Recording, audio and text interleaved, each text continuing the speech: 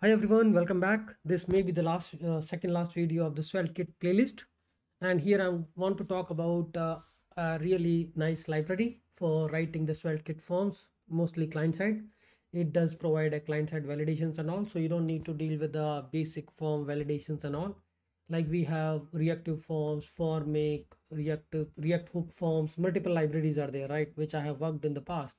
Similarly, the Felte AI is recently explored and this is really nice if you want to write a simple form and do the validation. Create form and it's easy to set up. Just use form uh, get the create form and this create form function will give you the form object all the test property and all.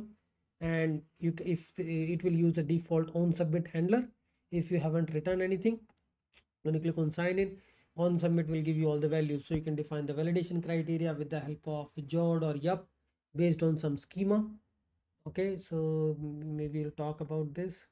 When you submit the data these are the handlers you can define.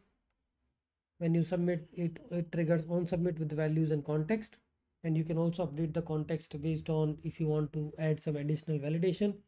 And you can see this context object contains a lot of things. So i will just showcase a simple example. If you want to explore it more you can just start using this library maybe uh, we are using yup validator. Like Zod there is a Zod validator. Similarly yup this is the simple schema. Item should be of an array and the string should be i mean this is an items of an array of five elements and individual elements should have a string of minimum one and maximum five characters.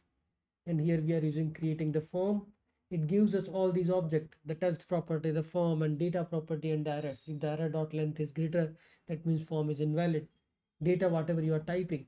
Test property if you have touched the form or it just initial first time load. Okay?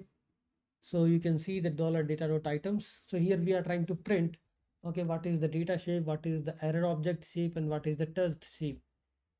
This is how we can access all these properties touched data and errors. So let's see. If error is there you can just print the stringify representation of errors because the minimum length must be of one character and the five character right? So if i enter one right you can see the items. This is the data i got.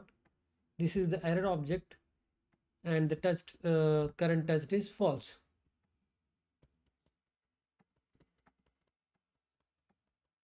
So if i make any anything empty it will start complaining in the item 0 item must be at least one character.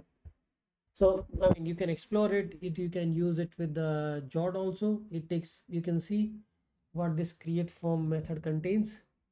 All the initial values on submit and uh, schema also you can pass whatever the schema against which you want to validate.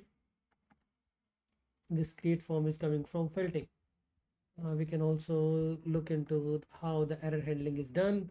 You can see once you get the errors you can access errors using dollar errors dollar touch property similarly dollar form dollar data. You can add a multiple validations.